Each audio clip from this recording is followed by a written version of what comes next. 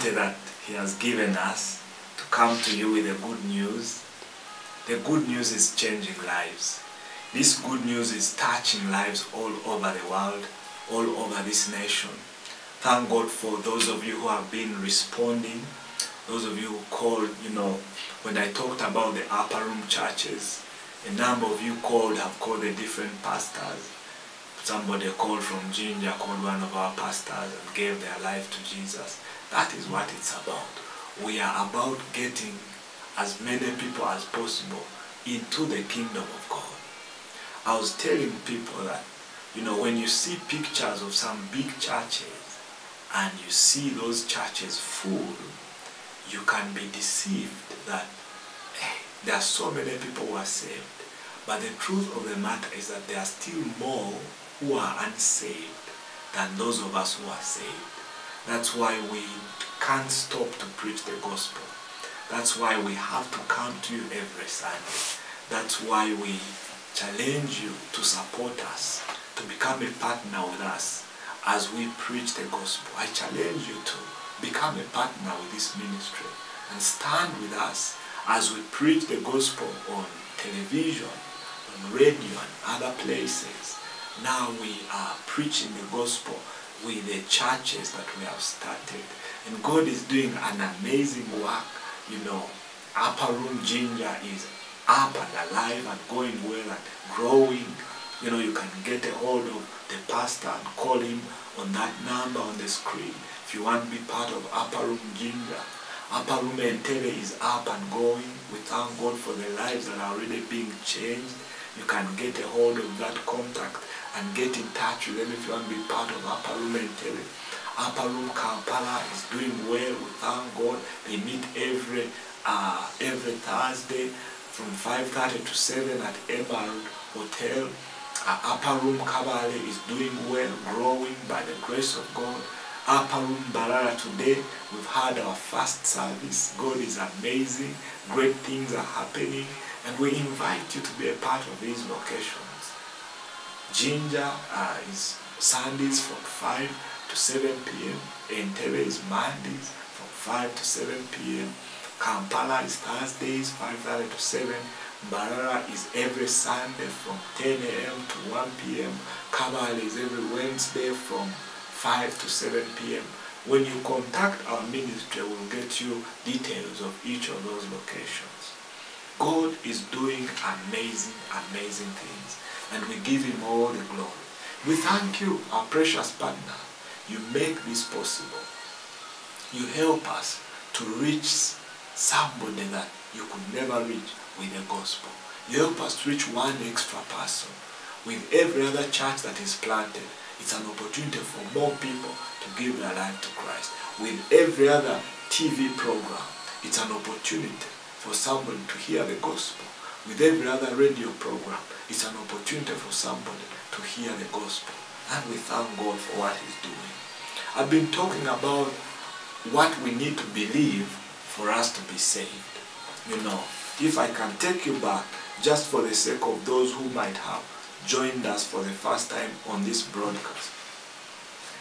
The jailer in Acts chapter 16, he was in charge of Paul and Silas. They had imprisoned them, of course for no good reason, for just preaching the gospel. They found themselves in prison. Now at midnight, Paul and Silas, Bible tells us, they were singing hymns and praying and every other prisoner was listening to them. Then suddenly there was this great earthquake and the prison was shaken to its foundations and the doors were open and the chains fell off their hands and their feet. And, you know, instead of running out, they stayed there. And the jailer, when he saw the doors open, wanted to kill himself. But Paul told him, do not harm yourself. We are all here. The jailer, when he saw these criminals that were with Paul, and then Paul and Silas, who had an opportunity to escape, and they did not take it, but instead stayed there. He took Paul and Silas to his home, washed their wounds, and afterwards asked them a question. Sirs, what must I do to be saved? What must I do to be saved? And they told him, believe on the Lord Jesus, and you will be saved. And in my book, Saved, I write about what I believe are the things we are to believe on the Lord Jesus, and we will be saved.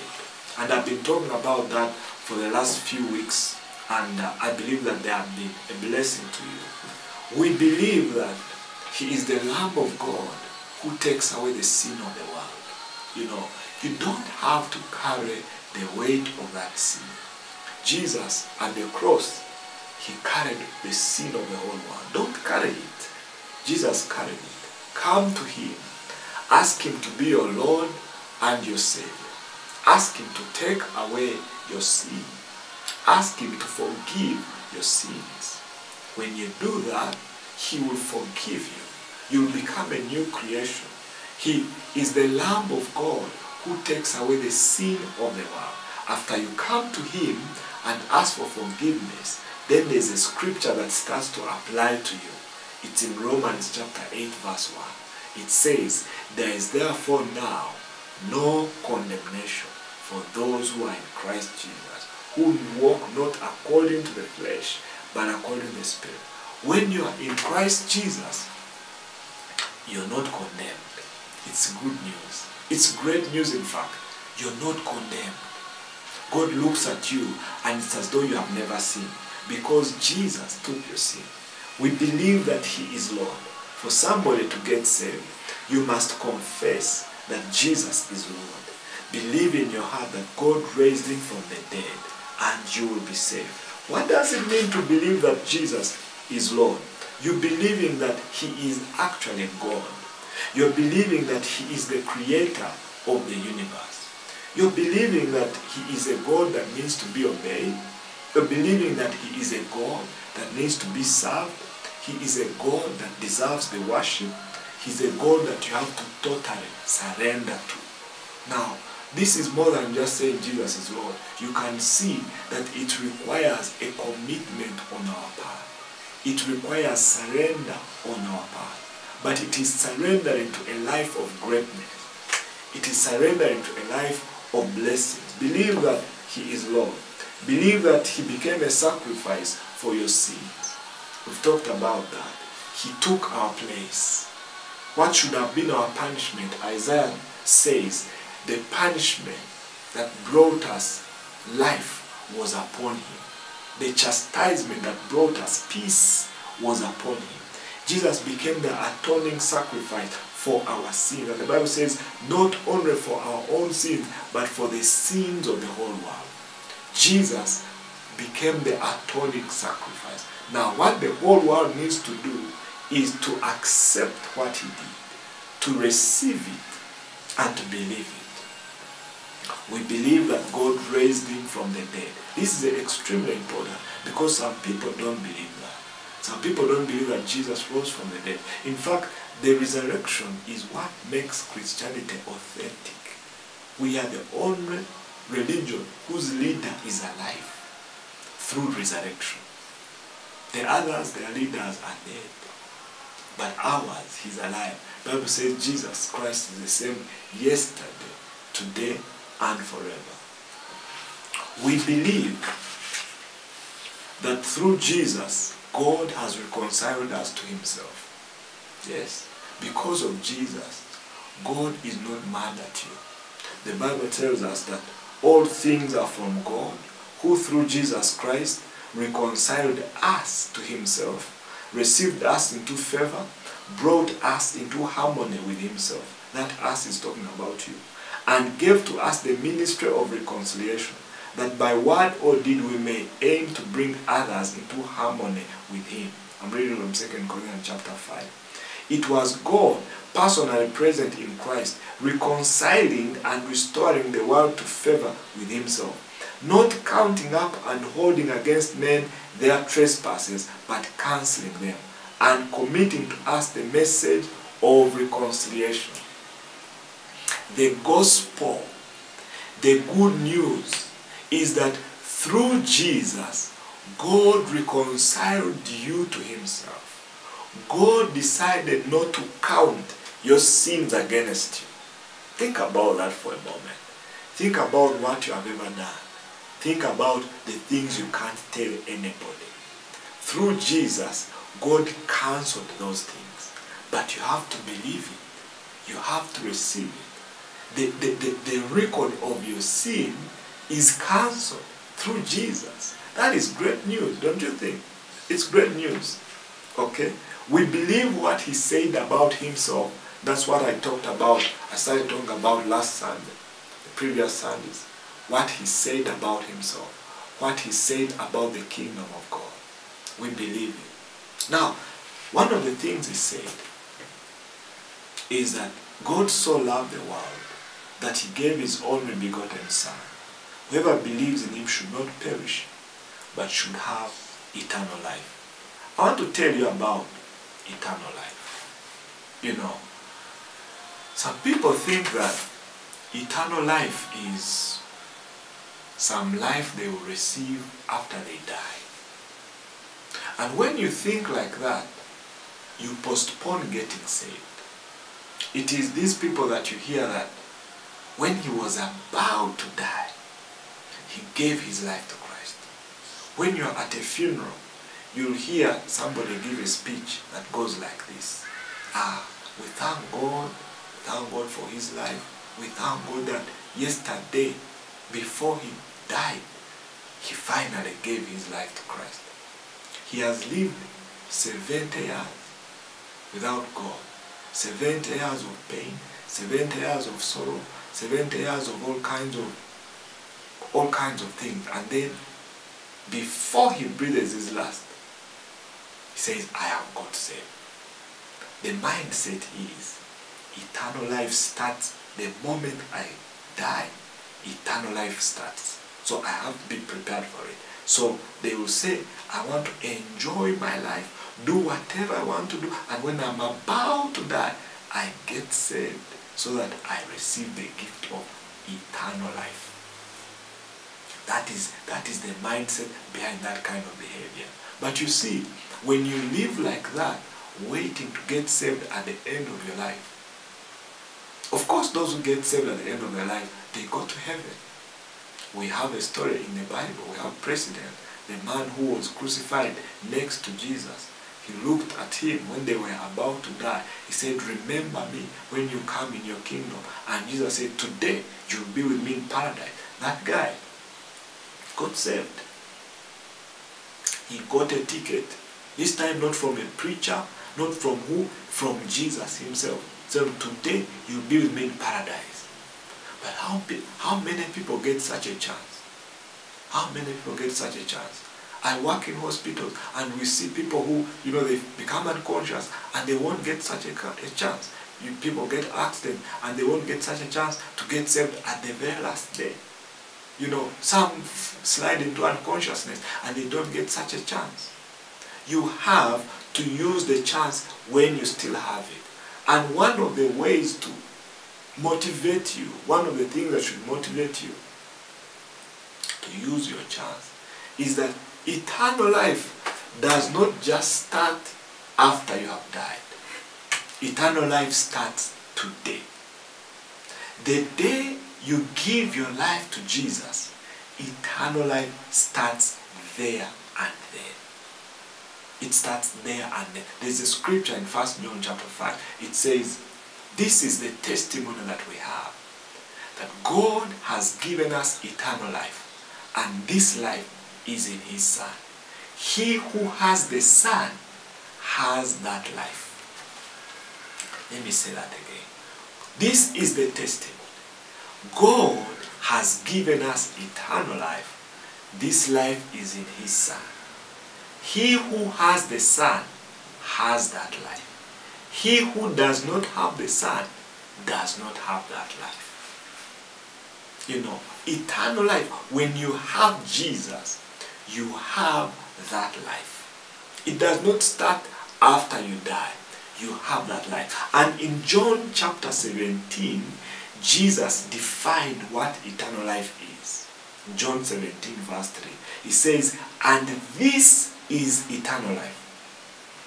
This is what you receive when you get saved. This is what is on offer. This, the verse says, and this is eternal life.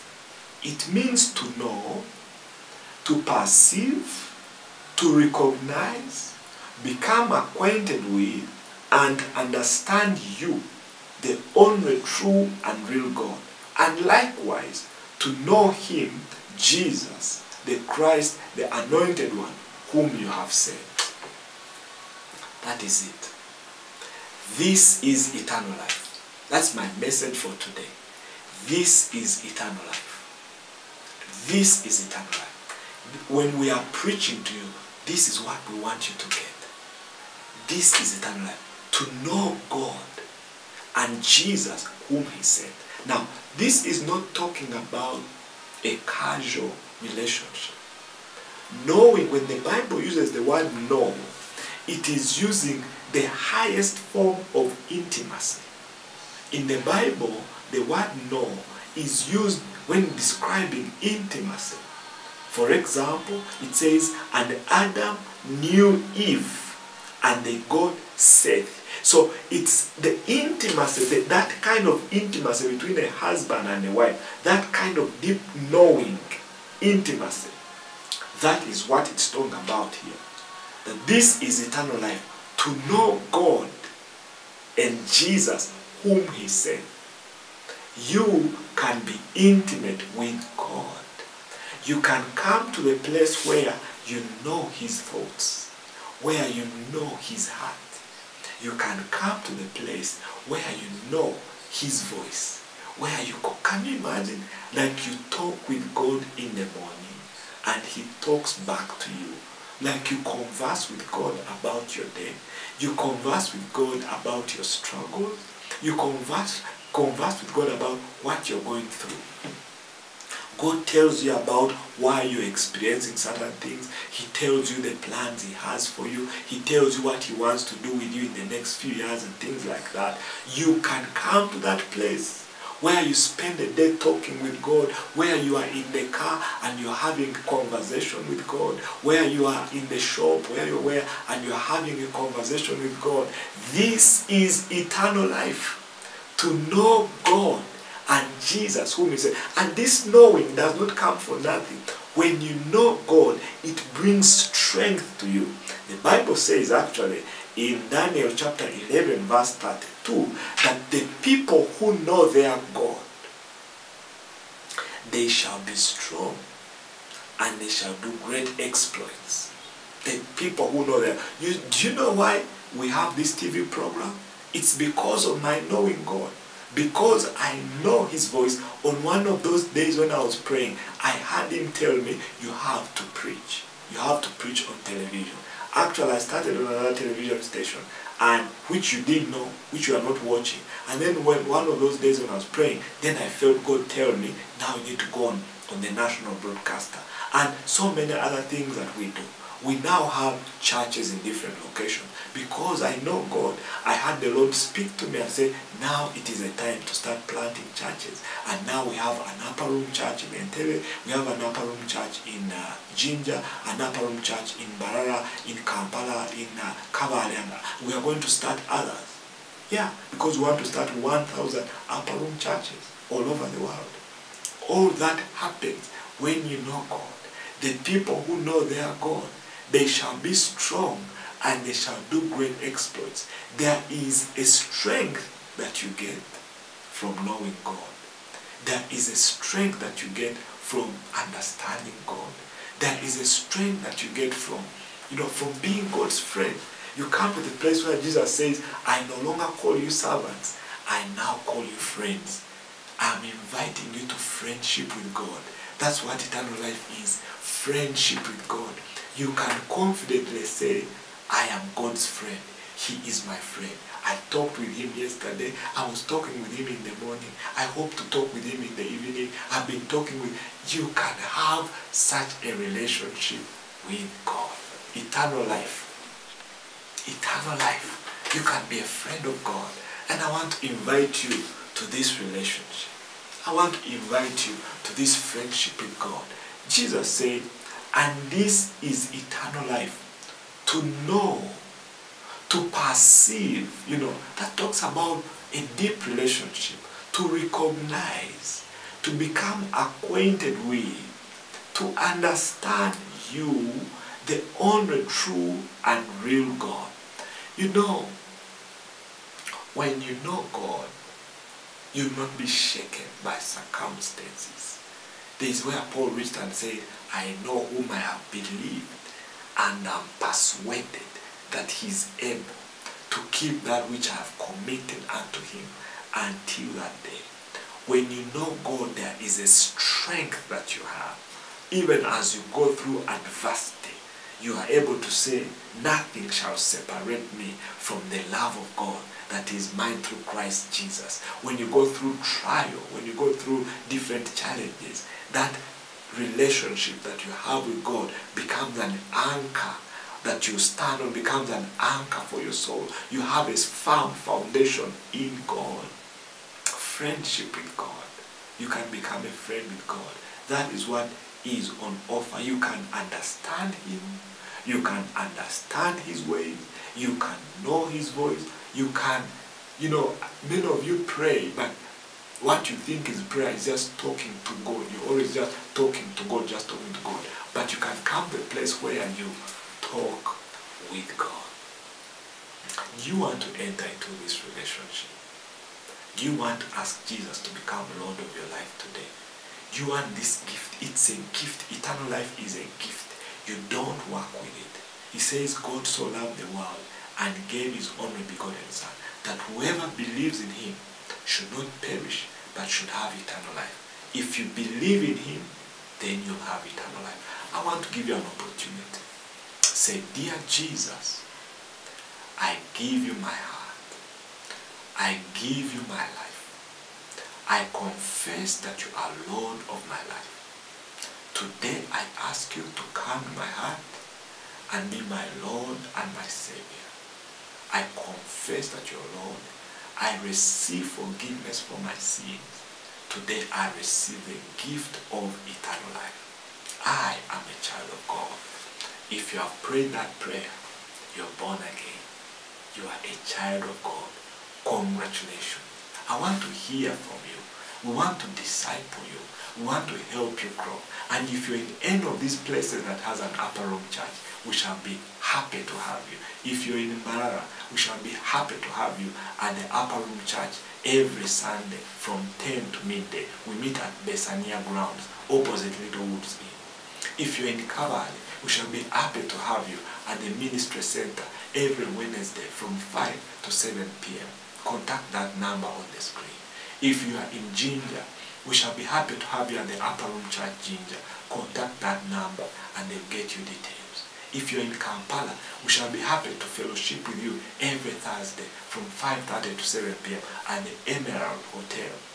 Contact that number for details. If you're in Entebbe, we shall be happy to have you. If you're in uh, uh, from 5 to 7 p.m. of Monday, contact that number. If you're in other places, just reach out to us uh, to on our ministry lines and we shall connect you to a church in that part of the world, a Bible-believing church. We shall get you material. We shall stand with you. We shall pray with you. And you will be a child of God enjoying the gift of eternal life. God bless you so much. I look forward to meeting you next Sunday with a good news broadcast.